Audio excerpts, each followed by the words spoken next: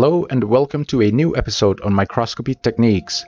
In this video, we'll discuss in detail about the handful of sectioning methods that can be employed for freehand section or section cutting of plant materials for microscopy. There are three most commonly used plant sections for microscopic studies in botany. Whole mount material, transverse section or TS material, and longitudinal section or LS material. Preparing a whole mount or WM material is pretty straightforward. All you need to do is to isolate the part of interest and mount it on the slide for further observation and studies. So we'll not be covering this in more detail in this video.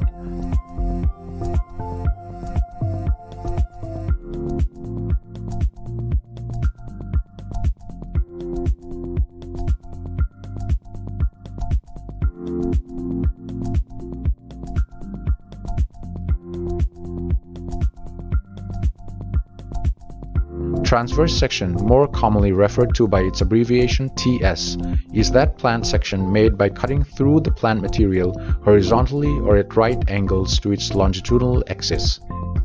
Preparing a TS of a plant material, usually a plant stem, is probably the most common lab exercise done in botany practical classes when it comes to sectioning for microscopy. For dorsiventrally flattened plant materials such as leaves and liverwort thallus, the transverse section is technically a vertical transverse section as the cutting plane is vertical and not horizontal. However, it's still loosely termed as TS for the sake of convenience. Longitudinal section or LS of a plant material is that section obtained by cutting through the material vertically or at right angles to the transverse axis of the material. In the case of materials with cylindrical or similar such forms such as a plant stem, a cut made longitudinally right through the center of the material produces what is known as a radial longitudinal section or RLS. Sectioning made by passing the razor longitudinally through any plane other than through the center produces a tangential longitudinal section or TLS. Plant materials for sectioning can come in a variety of sizes and shapes. Generally, larger and more rigid fleshy materials such as young stems are easier to handle and section. Smaller size materials, along with less rigid and flattened materials such as leaves, require structural support during sectioning, which we will come to in detail a bit later. The most ideal instrument for sectioning is a sharp, straight out of the box, single-use shaving blade, although a regularly sharpened and honed razor blade with a handle can also be used effectively. In this video, I'll discuss in detail the methods for sectioning easy to handle larger materials as well as tinier materials that require structural support in the form of a pith material for sectioning.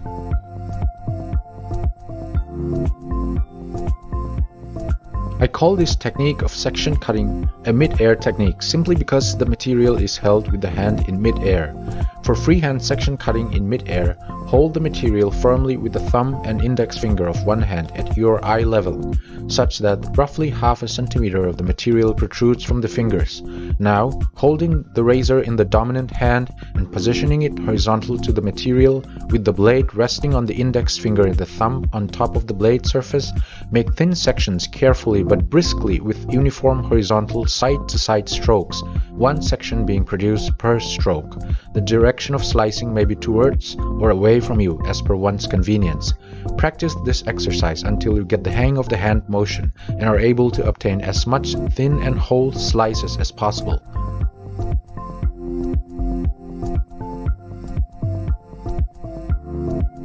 Collect the sections stuck to the blade from time to time in a petri dish or watch glass filled with water.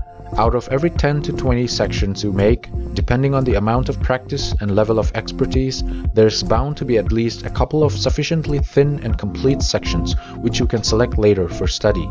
Thinner sections are relatively more transparent or less colored than the others and so can be easily distinguished. Discard the thicker and partially cut incomplete sections. When picking out the good sections for later study, always use a soft and narrow watercolor or paintbrush to remove the sections from the petri dish. Never use forceps or pins with sharp tips as they can inadvertently damage parts of the sections which will be very much evident under the microscope even if not visible right away with the unaided eyes. Once a few good sections have been picked up with the brush, transfer them to a clean glass slide containing a drop of water or glycerin or an appropriate stain solution, ideally one section per slide. Gently lower a cover glass using two forceps, taking care to avoid the introduction of any air bubbles in the water. For my videos on temporary and permanent slide making techniques, you can click on the links in the description below. When performing mid-air freehand sectioning, remember to wet the cut end of the material and the blade every now and then to minimize water loss and thereby wilting of the material, especially at the cut end during the exercise. Another way of section cutting, which I personally follow more often, is by immersing the material horizontally into a petri dish filled with water. Placing the material completely submerged by holding it firmly with one hand, cut sections with the other hand like so underwater. The direction of slicing is directed vertically downwards towards the base of the petri dish. With slow and steady cuts, you can easily obtain a couple of good sections out of every 5 to 10 slices you make. One advantage of the underwater petri dish method is that the plant material maintains its osmotic turgidity throughout the duration of the cutting, especially at the freshly cut end of the material. This makes the slicing much easier and produces clean cuts. For tiny materials that are close to impossible for sectioning using the previously described methods, a pith material is often employed to add size and thickness, if you will, to the material so that it becomes more convenient to handle. Some commonly used pith materials include carrot, potato tuber, cucumber, rubber or wooden corks, and even paraffin wax blocks. I'll be using potato tuber in this video. To use a pith material, all you need to do is to first make a square or preferably a cylindrical block by trimming the larger material to the required size relative to the size of the plant material to be sectioned. To make a cylindrical block, a cork borer of the right bore size comes in quite handy. Simply drill into the pith material all the way through and then pop out the cylindrical block thus formed from the inside of the borer.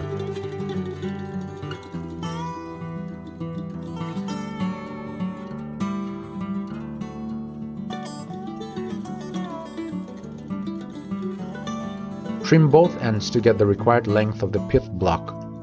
Then make a clean cut right through the central axis of the block to obtain two longitudinal halves like so. Sandwich the plant material to be sectioned in between these halves and then proceed with the sectioning using either the mid-air or submerged petri dish freehand technique as previously discussed. If the material is thick enough that it occupies room in between the pith halves, then cut out tiny V-shaped dents of an appropriate size at the center of one or both halves, like so. The size of the dents should be such that the plant material to be sectioned fits tightly and not loosely in the dent space. Press the pith material firmly and proceed with sectioning.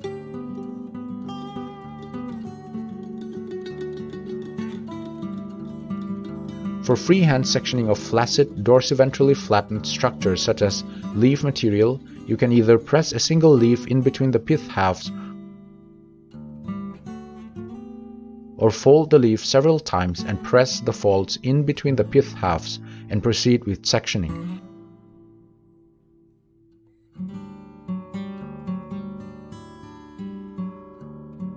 One advantage of folding the leaf into many layers is that you get several sections with one single cut.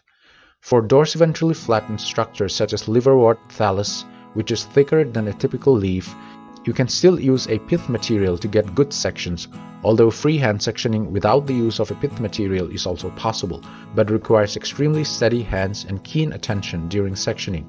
Once you have the ideal sections ready, you can either make a temporary or a permanent slide mount of the sections. Do make sure to check out both my videos on how to prepare a temporary slide and a permanent slide by clicking on the links given in the description below. A more effective alternative to freehand sectioning is the use of a device known as a microtome. A typical benchtop laboratory microtome is highly sophisticated and accurate and can cut paper-thin slices of both plant and animal materials in terms of a few micrometers thick. However, benchtop microtome-assisted sectioning requires the sample to be subjected to numerous processing steps prior to sectioning and is mostly employed for making thin sections for permanent slide preparations. So for sectioning of plant materials for temporary or permanent slide preparations, a cheap, portable, less sophisticated and easy to use microtome known as the hand microtome comes in quite handy. Although it requires a bit of practice to achieve thin and uniform sections, The hand microtome is an ideal tool for the botanist for quick, time-saving and less laborious section cutting of plant materials, although it's not very effective for sectioning of animal tissues. I have discussed in detail in a separate video on how to use the hand microtome along with a couple of different variations and techniques that can be incorporated to the use of this handheld device as per one's convenience and taste. You can click on the link given in the top right corner of the screen or the link in the description below to watch that video. So this was all about the techniques of freehand sectioning plant materials for microscopic studies. I hope you enjoyed and benefited from this video. If so, make sure to support what I'm doing by subscribing to my channel and clicking on notifications to get notified of upcoming videos. Thanks for watching. See you next time.